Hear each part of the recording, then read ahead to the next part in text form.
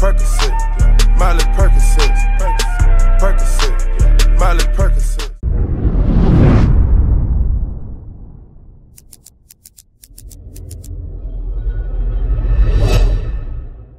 Alright guys, we are back with another spawn trapping tutorial video. Now you guys absolutely destroyed the first one we did. So the first one was on Nuketown and I asked for 1,250 likes. We absolutely destroyed that and you guys seem to love it. So we're here on Combine with another one and if you guys enjoyed this, drop a like. If we can get another 1,000 likes on this video, I'll do another spawn trapping tutorial on Fringe, Evac, whatever you guys want to see in the comments. But you guys suggested Combine so let's get right on into it. Now, we're going to be starting off on C, and we'll work our way all the way in the back to A where the spawn trap is. So, starting off at C, uh, this is a major, major spawn. So, again, trophy systems all around the map are where sentry guns would be. So, one of the sentry guns would obviously be right here to block off all of this and to block off this. So, uh, that helps out so the enemies just keep spawning at A. But if you don't want to put a sentry gun here and you want to have whoever's at C get some kills, the guy who's at C could literally just sit, hide behind this wall and come around it and they'll spawn here and he'll be fine to go. Or you can just head glitch this, they'll spawn here, you can get easy kills and he could probably call in the most HATRs out of everyone. It helps out so, so much. Or he can come around here, which is what I like to do. I like to sit in this corner and wait, get a nice little head glitch on the spawn and just keep taking them out. Or maybe sometimes I'll come up here and do exactly what he's doing and jump up and down to take him out it works out very well. You can do whatever you want. So if the person who's watching is really skilled, that's what they could do. If not, they're not the best player in the world. They I recommend putting a sentry gun right here and blocking all this off. The next spot is back river. Now, there's a major spawn point right here, which is why we have a sentry gun. So we have a guy in the building right here. And what he does is he puts a sentry gun here to block this off instead of just having to get these kills over and over. And he'll head glitch the middle of the map to kill anyone who tries to come, whether it's over there or if it's just someone coming in this window. So this guy helps out a lot right here.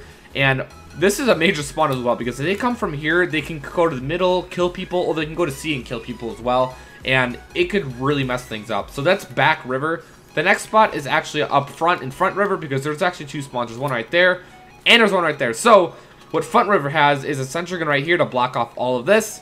And then what he will be doing is basically watching all of River. So what I recommend him doing would actually be putting a C4 over here just in case the sentry gun goes down and there's kind of bad communication between this guy and this guy.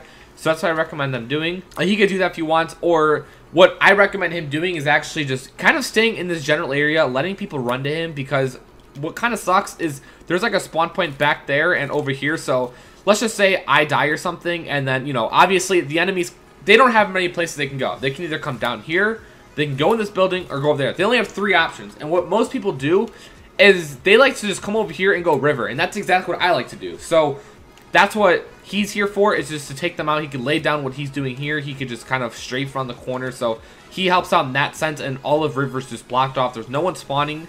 And then the next spot is actually going to be up front right here. Now this is actually a major spot because this guy is just cutting off this entire area. He's cutting off all of this. So None of the enemies are pushing up to go to C or anything like that or trying to capture B. So he can basically just head glitch this window. If anyone comes in the building, he can you know peek his head right here, get a nice little head glitch, get an easy kill. Or if this guy's calling for some help, he can maybe jump shot around the corner, take out some people, back up a little bit. He can do whatever he wishes, or maybe there's some there's needs to be some help over here. He could literally just come over here, slide over here, and head glitch this if he needs to. So he this guy's basically covering all of this, uh, you know, whenever help is needed. But usually his main spot is just head glitching this and making sure this is all covered up.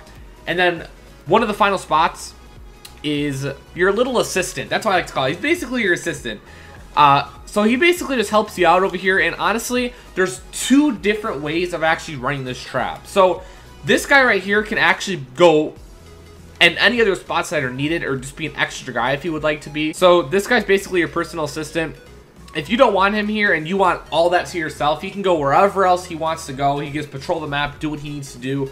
But there's actually two ways of running this trap. So basically, the first way, which is the way I'm going to show you, not personally how I do it, but he basically blocks off spawns here. So he'll be blocking off this spawn and that spawn since he's literally standing right here. So he'll be blocking all that off. And basically the guy who's running the trap, so let's just say I'm running this trap right now, would be hiding, hiding behind this rock or hiding behind this rock. And basically where they'll be spawning is right there and right here. So you could just hide behind this rock, let them spawn, jump shot, take them out, or you can just slide around the corner, take them out, and then sit here again after you're done killing them. They'll spawn around there take them out, and then you can just keep going back and forth, back and forth, and just keep getting the easiest kills.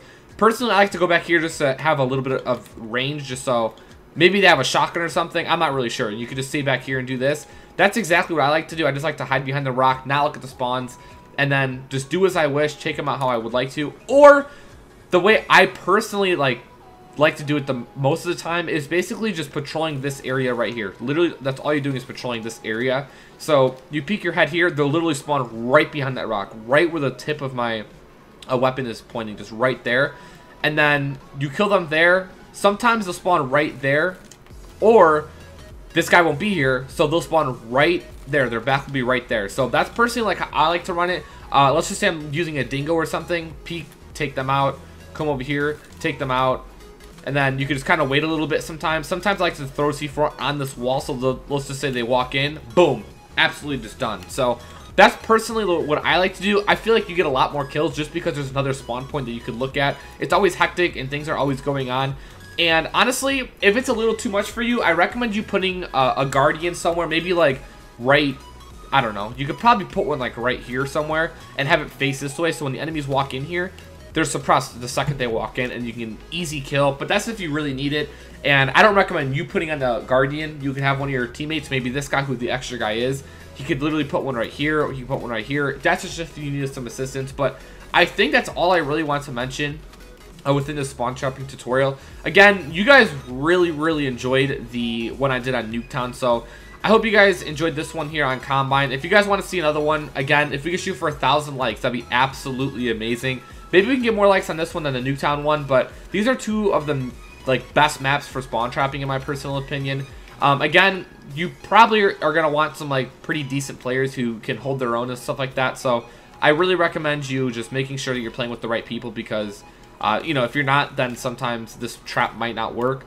Um, also, regarding the flags, I recommend capturing B at 50 points and then the second round at 150. And then if you spawn at C first, capture C around like 20 points. And what I mean by that is once the other team uh, holds A until 20 points, then capture C. That's just so the game lasts longer. You can, you know, get more kills in and all that kind of good stuff, and just get as many kills as you possibly can. But other than that, I think that's gonna wrap the spawn trapping tutorial video for today. Again, hope you guys enjoyed it. Uh, I personally, I actually really like making these. I feel like it helps you guys out a lot. Uh, this stuff helps you get 100 pluses, nuclears, uh, definitely helps you level up quite a bit as well. Uh, just personally what I like to do, uh, um, you know, here and there. I don't like to spawn trap all the time, but again, this is just what you want to do if you're really just trying to grind out the game, get some easy kills and wins and all that kind of good stuff. So, uh, I'll talk to you guys later. Hope you guys enjoyed. A thousand likes would be much appreciated, and I'll talk to you guys later.